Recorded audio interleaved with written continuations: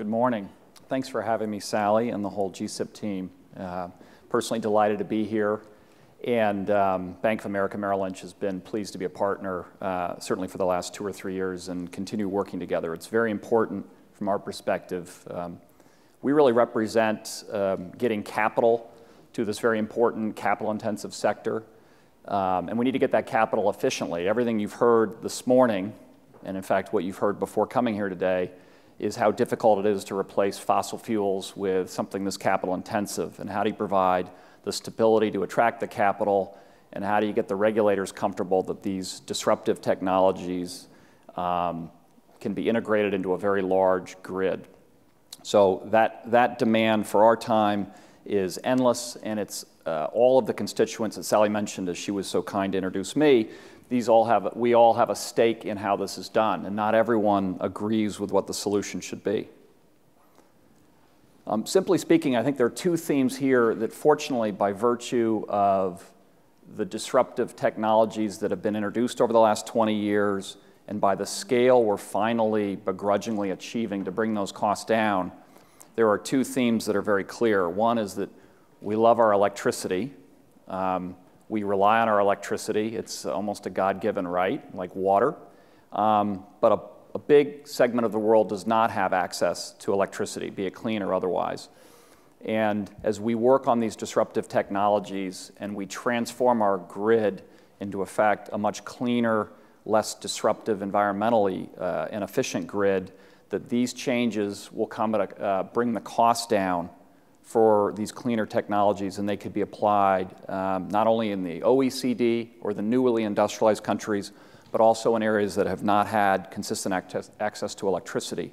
This, along with access to clean water and food, and education will help reduce poverty, which I think should be a very important goal for all of us. So we think both of these themes will benefit from the same trends that I'm going to speak of today and that I think will be uh, reaffirming what you've heard earlier today from your prior speakers. Um, the message is largely upbeat. I mean, the last three months have been pretty challenging if you look at your equity portfolio. And um, as oil prices have come down, there's been a shock to the system. And a lot of the players we'll speak of today in terms of at the frontier of innovations to finance have had their stock prices drop by almost 50%, if not more. And there's a new question about how reliable is this. It's nothing like what we faced in 2008 through, through 2010, but clearly a disruption brought by um, the rapid reduction of commodity prices globally. So, notwithstanding that, the message is still relatively upbeat in that we are finally to a point where we are deploying, um, deploying new technologies that are grid parity worthy, particularly with the current subsidy regime in many jurisdictions. And we're embracing more disruptive technologies like batteries and what we've heard for the last 45 minutes on smart grid to further bring the cost down. But that's a very upbeat message. There's nothing you're going to hear from me that counter that is negative to that. It's really a question of what is the pace of change, how quickly can we transform, and wh who are the actors who are going to win and lose as a process of this. And the overall themes are pretty obvious. We want security of supply. I think uh, in the presidential election that will be clear given the uh, tumult in the Middle East. Environmental stewardship um, I think if you look at uh, opinion polls, it goes up and down based on how people are doing economically and there's a perception of can we afford to do this? But I think with what you're seeing today, what you're hearing today is we can absolutely, we cannot afford not to, and that the cost of not doing this exceeds um, the small cost, uh, the, this massive capital infusion, but th that um, there's growing consensus environmentally, this is critical. Um, there's a preference by individuals to control their own power, just as they've controlled their transportation and controlled other factors of their home and the future utility, not only with the grid discussion we've just had, but also with respect to technology. You're going to see more distributed power, more control for how you consume, when you consume, and what form of power you consume in the home, and less reliance on a centralized grid. Now, um, obviously, there are challenges. Um, demand for electricity has been relatively low. And part of that are the new technologies and energy efficiency that's been cost effective. Part of that is the reason why we have almost zero interest rates, that our economy is not growing that fast. and certainly has not been that capital intensive. So capital formation and GDP growth has not been there um, in the United States. Obviously, globally, um, you've got enormous demand for power that's unmet. China, India, parts of Africa, certainly in Latin America, you see rapid growth. So you really have a tale of two, two cities. You've got the OECD, which is anemic growth, but where a lot of the technology is being deployed, and you've got the emerging growth countries who have less efficient markets, uh, need the capacity, and have to um, really work to make it an attractive investment environment for money to come in. At the same time, we're here in the middle of Silicon Valley, that technological disruptions have never been more prominent with respect to the electric grid. And um, whether it's batteries or fuel cells or bits and bits and watts, um, it's all good. And it's uh, billions of capital will be needed, if not trillions. But as we bring down that cost, that will be very cost effective versus the status quo. There is enormous amount of untapped capital out there. I think we'll, we'll talk today about how volatile the public markets are, and that's, that's kind of noise around the edges because most of this capital is not coming from the public equity markets. Most of this capital is coming from pensions, funds, sovereign wealth funds, large banks, insurance companies, and other forms of capital. Um, but it all relies on government policy. And that's not just to say this is high cost, so let's set up a subsidy. This is because it's a 20 to 30 year payback period that you need to be in an environment that has a stable regulatory regime so that the providers of capital feel they're getting a fair return. If they are not getting a fair return, what they charge for that capital, if they provide it at all, is very high, and that works against bringing down the levelized cost of energy. It may be obvious, so I'm sorry to point it out, but I, it's in my preamble. So the good news is investment, this shows you investment is accelerated. And there'll be a series of bar charts here that by the end of the speech will be indistinguishable from each other. But hopefully the data will kind of match and so that you won't catch me uh, saying one thing and telling you another later. But the, um, the aggregate amount of capital as measured by Bloomberg in this case has grown pretty dramatically since the financial crisis. And you'll notice that the amount going into Europe has receded, which is not a big surprise given the problems in Southern European, the sovereign debt crisis. The amount in the United States has practically doubled. If you look at the bar charts, I don't know if it's actually doubled. And the amount in Asia has gone up dramatically. And what we'll talk about throughout today is that the form of that capital, the form has changed, and where the capital is going has changed. Early in the century, a lot of the capital was going upstream to build solar manufacturing, to build wind manufacturing. Now, as we've gotten those cost efficiencies and that manufacturing has moved to low cost markets and been more commoditized, um, you're seeing more of the capital going toward deployment. That is, people around the room putting rooftop solar panels on their home, or uh, United States utilities, or Canadian utilities, or Brazilian utilities, uh, or Indian and Chinese utilities exploiting that much lower cost and deploying it in their own systems. So, what we'll consider deployment capex has gone up dramatically um, manufacturing capacity is pretty much in balance, and there will be manufacturing expenditures going forward, particularly as we innovate and find ways to bring the cost down, but most of that has been on deployment, which shows you we really are at utility scale, which, which is to say we are now at a, at a big enough size that solar and wind, for example, in the United States, have been the largest single additions to the grid over the last several years. And that was never the case right? This was something you celebrated uh, with a Grateful Dead sticker on the back of your VW bus at, a, at some sort of conference 15 years ago, right? This was not economic. Now it's economic. It is what's being deployed. If you go to Texas, West Texas, it is being deployed. If you go to rooftop solar in Hawaii and California, it's being deployed. And it's being deployed in the Northeast. So, really, wind in the central regions and solar on both coasts. And um, in Germany, rooftop solar has decimated uh, the two, the, the, the, local utilities there. And, um, and then you see the amount of grid investment here. And we've already, I don't want to belabor it because you've spent the last 45 minutes talking about how important it is, but there's an equal amount of capital required for that as well. Costs have come down, and I think the estimates may be a little bit different around depending on who you talk to. Um, this, again, I think was, was coming from um, uh, uh, Bloomberg New Energy Finance. But you see wind, uh, the cost curve has come down.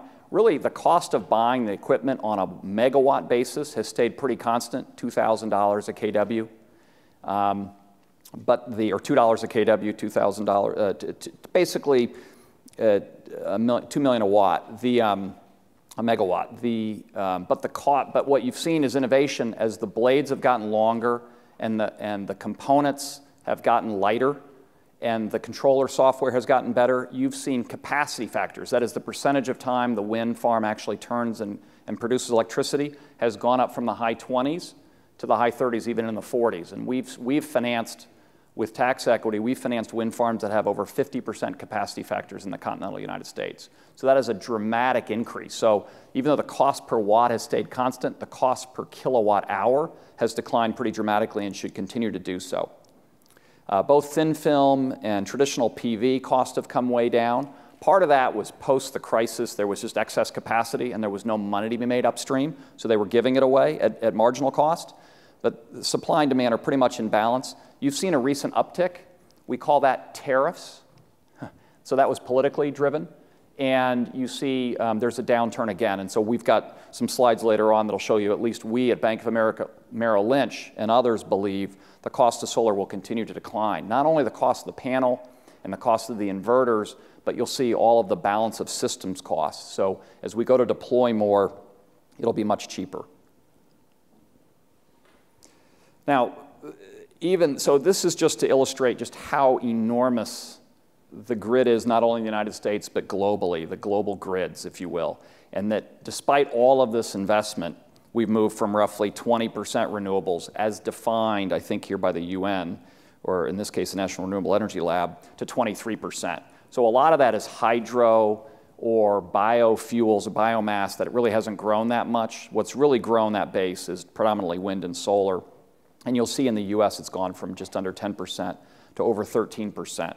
So that's a pretty significant move for a grid that's about um, you know 1,000 gigawatts in the United States. So it's a, when, you, when you talk about the low capacity factors for wind and solar, just the massive inflow, it also is a function of low gas prices, which is an elephant in the room. And on the one hand, low gas prices make it very hard for renewables to be competitive because it's all capital and you're displacing something that's declining in cost. But on the other hand, low gas prices have decimated coal uh, generation. And so we've really seen a shutdown, economic shutdown of massive quantities of coal generation in this country. Coal was roughly 50%, I think, of generation. I think it's down to the mid 40s, maybe even lower now. You may have the latest data. So even lower than that. So that trend should continue, and the EPA and their rules combined with the economic realities have, have there have been no new coal plants built in years, at least in this country. Globally, it's another story. And so here I told you about the future. I mean, I think on Resi, for example, if you look at what Solar City or Sunrun or Vivint, uh, three public companies, have told the financial community and what the, the institutional investors are very focused on is what is your cost to deploy. And a lot of these costs are certainly at the bottom, the blue bars are the hard costs for the equipment, but a lot of these are soft costs, um, sales. Um, Resi solar is still effectively sold door to door. It's sold when you get home and your phone rings and it's inconvenient, right? That's somebody, or you get it by email. So it is still um, an expensive way to originate um, new generation. Um, and there are uh, permitting issues. Every town in this country has their own permitting rules, whereas Germany, there's one set of permits. So we have a cost per watt that's projected to be well under $2 a watt by 2017, and right now it's closer to $3 a watt for the best players. We talked about onshore wind and the cost coming down there with components, so it's a more gradual decline. But um, going from $3 to $1.75 is extremely important in terms of those scale economics and making, um, making resi solar and distributed solar more affordable, not only for homeowners, but for small commercial and industrial players as well. So as a consequence of all this, it wouldn't surprise you that the amount of renewables, the percentage of all the generation being added is growing. And um, again, relying on Bloomberg, it shows you it's roughly in balance today, more renewables than anything else um, globally, but that will be disproportionately so in the future by 2030.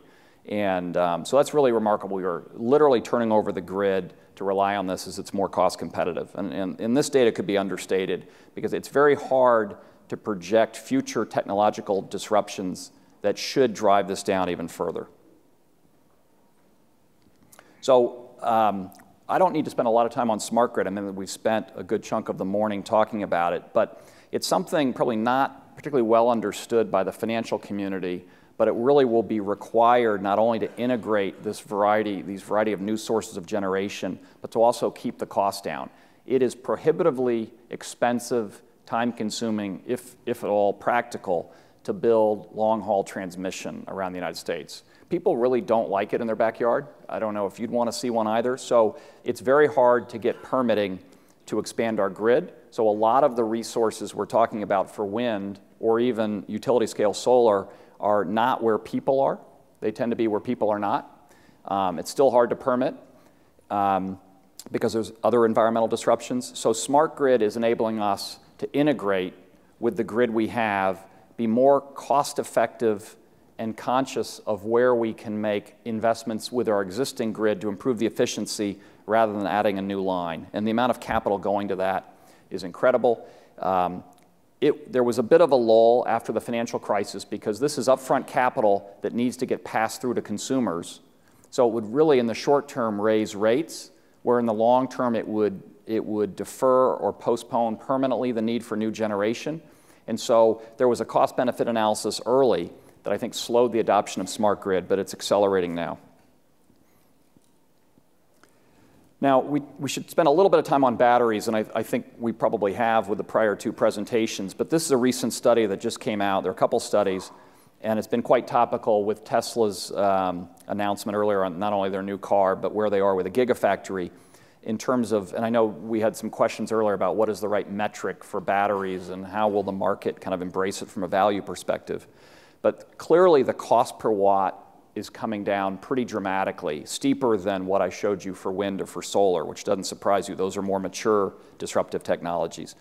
And, and there's um, whether or not this line at 375 or $350 a kilowatt, a dollar per kilowatt of capacity, whether that is the magic line to drive demand off the grid. Clearly, we're, we're, getting, we're within two years of hitting that. And so we're seeing much more activity anecdotally on battery deployment here in California and elsewhere in the country. And we're seeing global interest from major strategics to buy into that story. Not everyone wants to buy a gigafactory. Not everyone wants to own the manufacturing, but there's clearly incredible value, whether it be peak load shaving or whether it would be for ancillary services.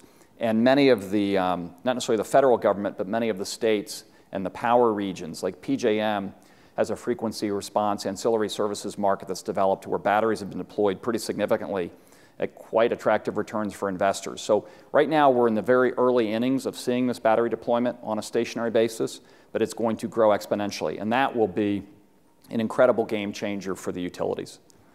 And to give you some sense of visibility of that cost curve, this is just a way to try to break down some of the costs coming down are simply scale, uh, more efficiency with the cell and the pack costs, um, fixed expenses a bit of misnomer. That's just as you build more of these factories, you have more, more capital to depreciate. That's a non-cash charge, certainly has an upfront expense. And then um, obviously as the business matures, some of the, um, some of the unusually high uh, returns will decline as the market becomes more efficient and winners are declared, such that uh, it may be a big swag here, but to think there's almost a 50% ongoing decline from where we are today to where we can be um, certainly in five years. This, this is dramatic, probably the most dramatic slide, the most dramatic fact impacting the grid over the next five years that I know of. Well, we've talked about this utility model. It's much more complicated. When you're producing the electricity, you're storing it. Um, it's resilient, but it takes new systems, and all of that requires a fair amount of uh, not only hard dollars for the grid, but also dollars on software and on systems management and network management. So um, timing-wise here, uh, um, obviously the infrastructure requires some stability, and that's been the problem in places like India and parts of Africa where you haven't had the stability to attract the capital at a cost-effective level. Um, but as that, as the technology costs come down and the period of time you need to generate those returns declines, it should be more attractive. Um, we can go through some of this. This is just to show you in terms of the public markets, to give you a snapshot of how little public markets matter for renewables right now. If you take the collective market cap of anything we could find that we could call clean energy or renewables, it was just over 400 million. Now, granted, it was a little higher a few months ago.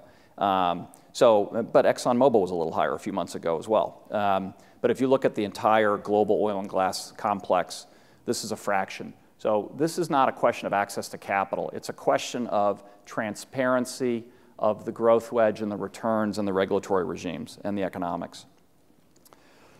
This is kind of a scary chart in that this is how the public perceives it when they look at their 401k, right? Um, it, the um, renewables, solar stocks are just wild speculation, right? You buy them and you hope uh, oil doesn't go down. So solar has been correlated with oil. A lot of the investors in renewables have been savvy energy investors. And so when energy stocks decline, these mutual funds get cash calls and they have to reallocate their capital to other sectors and they sell what's worked for them and they sell what they can. So we've had collateral damage, if you will, on the renewable side. I know that doesn't sound like a very efficient market thesis, um, but trust me, in the near term, when there are disruptions, um, there are more sellers than buyers, which makes sense when the stocks go down. Um, solar, uh, the solar companies in this index have changed from the big manufacturers to those deploying it downstream. And this was both a fear that growth wasn't sustainable, that returns were too low, and that the, the fast money was gone. So we've had a correction, um, but this is a base upon which um, there are still several public companies that can grow. Um, the regulatory regimes we can talk about, but suffice it to say, every country has a different way. We, we have the benefit of having a federal government, state governments, local governments, and all kinds of other interest groups. So we have, we have a myriad of ways to promote renewables, some of which conflict with each other. Um, some of the countries have more centralized approaches. Um, the trick is to have continuity in that so that capital can be mobile. Europe is a pretty telling example of what happens when regulatory regimes change. So um, after the financial crisis and the sovereign debt crisis in Europe, many of the southern European sovereigns who had supported renewables more aggressively than elsewhere were unable to continue that. And so in Spain, for example, you had an event called the Royal Decree. So there was a, a term in the uh, power purchase agreements that people didn't focus on, lenders didn't focus on, that meant if the king decided the price should be lower, the price would be lower. So that was not good uh, for people who own the asset because they had leveraged it about 80%, 75 or 80% against a 20-year annuity stream. And when the price declined, the creditors were even having to take a discount, which meant the equity was zero. So when that happens, investment, um, what's the term, dries up. Uh, people don't come back. Greece obviously was the problem. Um, Germany and France continued to have access to capital. Um, and that investment continued to take place, but there was a major drop off. And, and Europe, as a consequence, has dropped about 50% in investment. There are, there are a lot of ways, I mean, this is a utility, um, utility scale sector, but it's, it's attractive because you've got venture capitalists um, supporting disruptive technologies. You've got private equity and other companies supporting things after the venture capitalist. You've got the IPO market, and then you have large strategics and utilities who want to invest. And then there's a whole myriad of ways on the liability side to bring that cost down between green bonds, between asset backed securitizations. Um, there are a whole host of ways to use financial innovation to complement the innovation we've been talking about here on the asset side. Um, the IPO market um, was very strong in the early part of the, the century with manufacturers, and really now it's been more toward deployment, which is consistent with the themes we've been talking about. Yieldcos, um, have been a very active issuer, and the, they're much like master limited partnerships. It's a way for institutions to invest, get a current yield and, and growth with pretty safe, um, and those have been very active issuers. Um, they've suffered some headwinds now because of the decline of MLPs.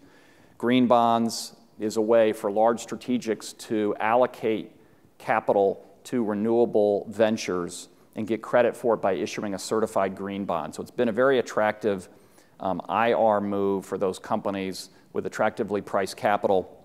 And increasingly, the rating agencies are on board rating renewable projects as investment grade. So the amount of capital coming out of the debt markets continues to be uh, quite strong. And the banks, because of the myriad of incentives, the banks continue to play a disproportionate role than other sectors.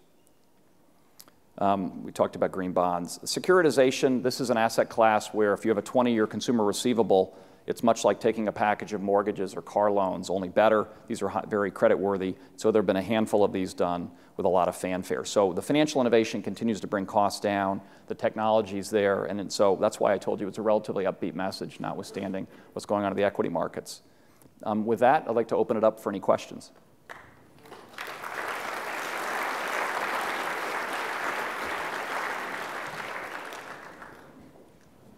Sure. Oh, do we, do we not have time for questions? We, you, you're the boss, yeah, so. Uh, so real quick, these uh, new tools that the financial markets have for financing this, how uh, much are those reliant on the fact that right now there's very low interest rates across the world?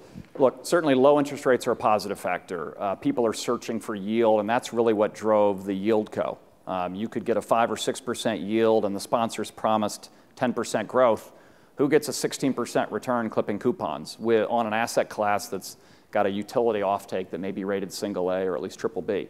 Um, rising interest rates are clearly a threat um, to capital formation. I mean, as interest rates go up, the cost of carry for these investments will rise. Um, generally, though, when interest rates are going up, commodity prices are going up. I don't know of too many economic regimes uh, where you've had sustained rise in interest rates. We have a deflationary market where you had some other form of inflation with commodity prices dropping. But in the long term, we think um, at the interest rates we're talking about that we foresee, that's not really a major headwind um, for the major solar and wind players. I think a bigger headwind is what is the clearing price of electricity on grid and what is the, what is the scale and the scope and the persistence of cost reductions over time.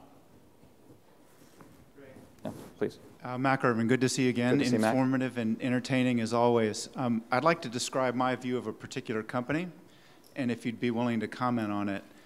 Uh, Probably in, not, but go ahead. In this case, it, it, I'll, I'll, be gentle about it. Uh, NRG has been uh, one of the few companies that has um, mixed conventional and renewable activities. Yes. Um, a very vocal, high-profile CEO who, if you listen to the chatterati, is in some sort of trouble, what are the implications of NRG's success or failure? You made a point that capital markets are such a small part of what's going on in this space. Thank you. Look, it's a great question, and um, it shows you market psychology. NRG was the first to do a YieldCo uh, in 2013, where they have a big coal, they're a big traditional coal and gas generation fleet so a merchant generator, independent power producer, whatever you want to call it, all the above. And they had built up a pretty substantial solar business and then acquired a wind business here in California in the Tehachapi region.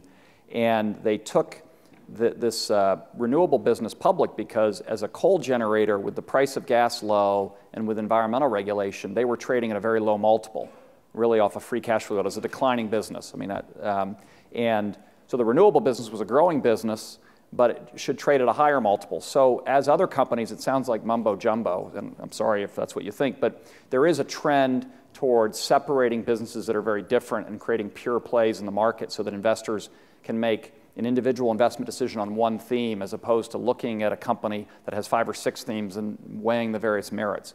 So they did that and they sold 20% of the YieldCo off, and it's been largely quite successful. I think um, some of the other moves on residential solar and some of the other investments, disruptive investments in charging stations, I think um, in, a, in a period where commodity prices are in decline, some investors questioned whether that was the right place to incubate it and perhaps whether others should incubate it. And so I think that's what they're grappling with at the board level now. But we have a lot of respect for David and, and his team and have done a lot of work with them.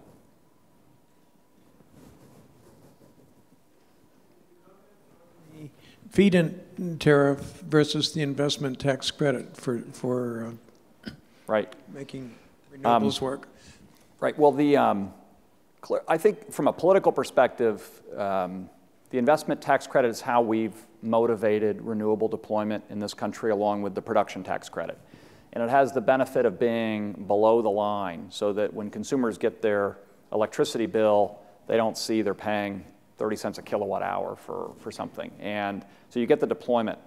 It has the disadvantage of requiring whoever is the beneficiary of that credit to be able to use it or to monetize it.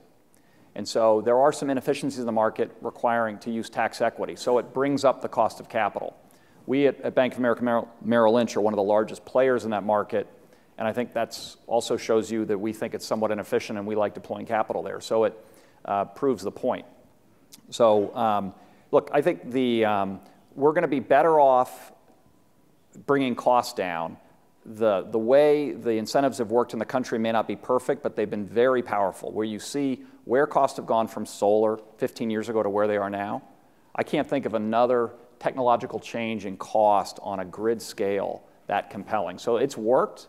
There probably were maybe more efficient ways of doing it, but this was what Congress liked and Congress kept extending, and so the industries adapted to it. Feed-in tariffs were not sustainable in Ontario. Uh, new, you know, when a new team administration is elected and they see what the costs were to put it in, it's one of the first things that goes. So even though it's efficient, people doubt its sustainability. Any subsidized industry tends to trade at a lower multiple in the market because I don't know about you, you guys, I mean, we all partner with the government. It's, it's important and we value that partnership as a bank, as a large money center bank, uh, we have to. Uh, but, but clearly the, the equity markets view with suspicion subsidies and their duration. So you tend to trade at a lower multiple if you are subsidy reliant.